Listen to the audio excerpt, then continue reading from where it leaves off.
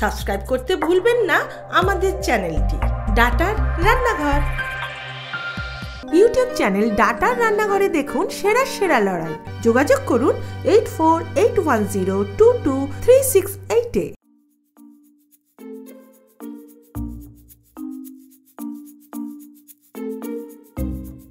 আমার নাম অরুণ কুমার রায়।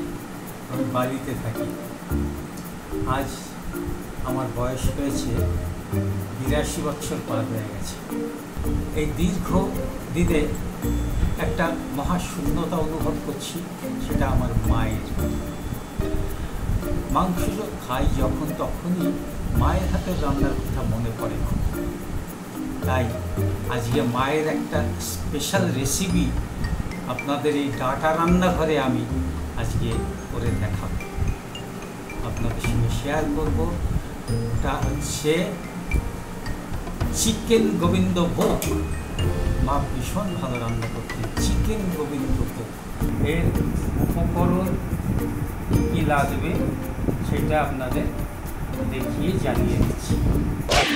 প্রথমে চিকেন পাঁচশো গ্রাম ক্যাপসিকাম কুচি কিছুটা নিয়েছি, পেঁয়াজ কুচি, আদা কুচি নিয়েছি, রসুন কুচি নিয়েছি, তিল, গোবিন্দভোগ চাল এবং শুকনো লঙ্কা একসঙ্গে পেস্ট করে নিয়েছি।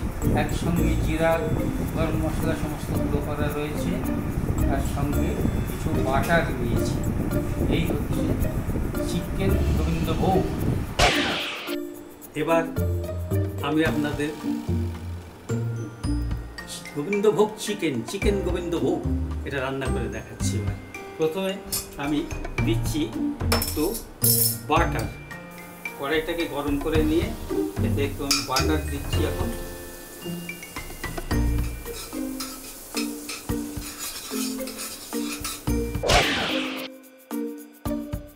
বাটারটা গরম হয়ে গিয়েছে। এই বাটারে আমি এবার এই যে ক্যাপসিকামটা কুচিয়ে রেখেছিলাম এই ক্যাপসিকামটা এইবার আমি এতে দেব, দিয়ে একটু ভাজা ভাজা করে নেব। ক্যাপসিকামটা একটু একটু ভাজা হলে তাতে আমি এইবার এই যে মশলাটাকে গুঁড়ো করে রেখেছিলাম, গরম মশলা, জিরে, গোলমরিচের গুঁড়ো সব মিলিয়ে একটা মিক্স করে রেখেছিলাম, সেইটা একটু এই ক্যাপসিকামের উপরে আমি ছড়িয়ে দিচ্ছি। এটা সবটা দিচ্ছি না এখন, কিছুটা হাতে রাখব, পরে দিতে হবে। এখন এটাকে দিয়ে এবার একটু নাড়াচাড়া করে দিলাম এইবার আমি যে চিকেনটা আপনাদের দেখিয়েছিলাম তার সঙ্গে, পেঁয়াজ কুচি এবং আদা কুচি, রসুন কুচি, এটাকে একসঙ্গে বয়েল করে নিয়েছিলাম। সামান্য চারটে সিটি দিয়ে একটু বয়েল করে নিয়েছিলাম। এবার ওই ভাজা ক্যাপসিকামের মধ্যে আমি এই চিকেনটাকে এবার ছেড়ে দিচ্ছি।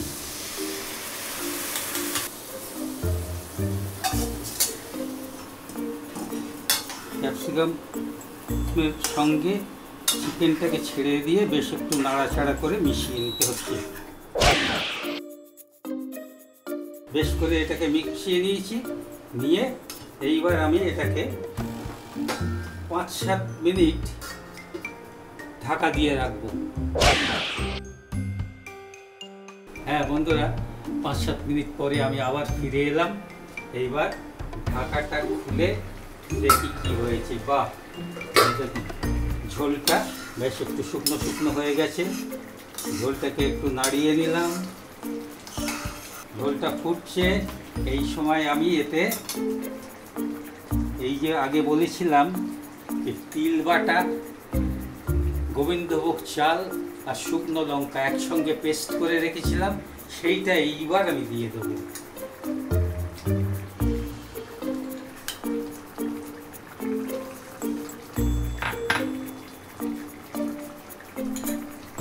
দিয়ে এর মধ্যে এবার যে বাকি মশলাটা ছিল, সেই মশলাটাকে আমি এইবার গুঁড়ো মশলাটাকে বাকিটা ছড়িয়ে দিলাম।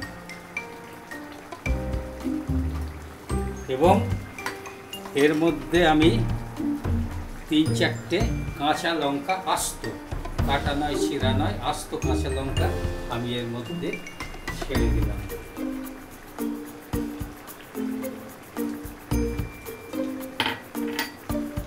দিয়ে বন্ধুরা, এবার বেশ করে ওই পেস্টটাকে নাড়িয়ে আমি মাংসের সঙ্গে মিশিয়ে দেব। হ্যাঁ বন্ধুরা, একটা কথা বলি। এটা হয়তো আগে বলা হয়নি যখন ওই মাংসটা পেঁয়াজ কুচি আর আদা কুচি, রসুন কুচির সঙ্গে সেদ্ধ করেছিলাম, তখন নুনটা দিয়েছিলাম। এই নুনটা আপনারা আপনাদের পরিমাপ মতো দেবেন। তবে হ্যাঁ একটা কথা বলি। আমার মা একটা জিনিস করতেন এর সঙ্গে। গোবিন্দ ভোগ দিয়ে পোলাও রান্না করতেন। এর সঙ্গে যদি গোবিন্দ ভোগের পোলাও রান্না করে খান তাহলে নিশ্চয়ই আমাকে আপনার ইয়ে পাঠাতেই হবে থ্যাঙ্কস পাঠাতেই হবে। বন্ধুরা রান্না আমার কমপ্লিট বেশি সাজানো সারা। এইবার শুরু হবে আমাদের ধন্যবাদ আপনাদের। সাবস্ক্রাইব করতে ভুলবেন না আমাদের চ্যানেলটি। ডাটার রান্নাঘর। ইউটিউব চ্যানেল ডাটার রান্নাঘরে দেখুন সেরা সেরা লড়াই। যোগাযোগ করুন eight four eight one zero two two three six এইটে